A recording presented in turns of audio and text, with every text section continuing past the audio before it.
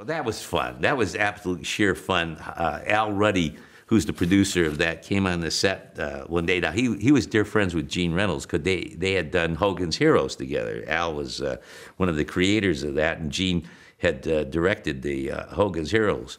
And so uh, Al said, "Look, I got this movie I'm going to do, and we have this crazy sheik, and we'd like for you to to play it, and we'll give you star billing in the in the movie, etc."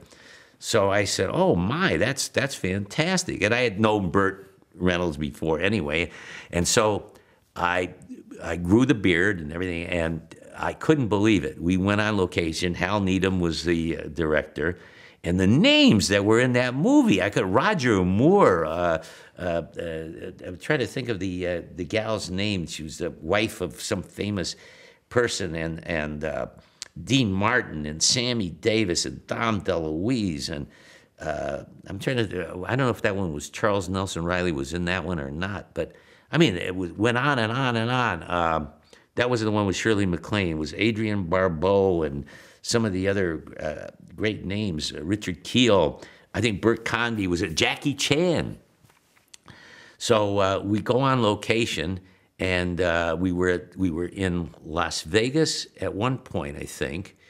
Then we went to uh, Decatur, Georgia, I believe, and it was in the summertime, and it was really hot. I mean, it was unbearable. Mel Tillis, uh, I remember, was in it, and uh, I'm trying to remember who his partner was in the in the car uh, thing that they had. I don't know, it was Buck Owens or maybe it wasn't Buck Owens, Roy Clark. At any rate, uh, so it's really it's like 2 a.m. and it's sticky hot. You know that that summer southern heat. Everybody's perspiring. It's late at night. We're by the swimming pool. I think a car is supposed to go into the swimming pool, and we're all dying out there. Perspiration's coming out, and Roger Moore walks out. He's got this white suit on. He's got a flute of chilled champagne and a cigar, and there isn't a bead of sweat on him at all. And we're all looking at him, and we're we, we'd like to strangle the guy. Looked like he stepped right out of GQ magazine, you know. Not a bead of sweat. Everybody's dying out there. anyway, it was one happy family. We all get together. We'd all go out together to a restaurant at night. Uh, Dom DeLuise would go in the kitchen and cook. We'd go to a mama and pop uh, Italian restaurant. I think it was the second one. That's the one, Telly Savalas and Frank Sinatra and uh, uh, Dean and Sammy, and I remember we we'd all Shirley MacLaine, and we'd go to the restaurant. Dom would go right in the kitchen, and everybody would bring out the food. We'd all be one happy family. Uh, I'm trying to remember one the the one story that uh, that we had was uh, uh, trying to think of uh, Telly Telly Savalas.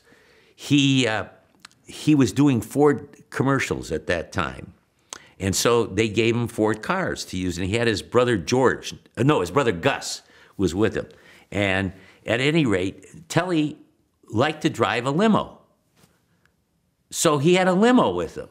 And he'd have a cap and he'd drive the limo. And he'd have George and me, uh, I mean, Gus and me sit in the back and we go to a Greek restaurant with Telly drives our driver. I mean, all these people were really crazy. A fun, fun time. I remember when Frank Sinatra came on the set. Everybody was there to watch uh, Frank do his scene, and uh, I didn't. I, I, had a golf match. I, I, wasn't scheduled to shoot, so I went out and I played golf. It was at a public golf uh, course, and I had this little bag with me, and I had a uh, a, a religious medal that my grandmother had given me. It looked like it was expensive, but it wasn't. And I had it in a bag, and I tucked the bag underneath in the car.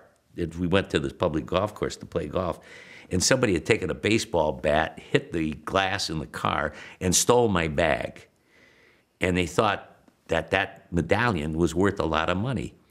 And jokingly, I said, gee, Frank, if I had known you wanted me to come, you didn't have to do this. I would have watched your performance, you know. Turns out they found the guy, he tried to peddle it. And uh, they, they cops found it, and I got my medallion back that my grandmother gave me. I have it upstairs in the, uh, in the place.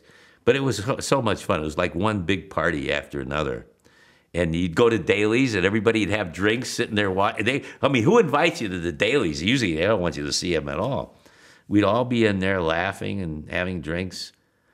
Uh, the the movies got terrible reviews, but made a lot of money.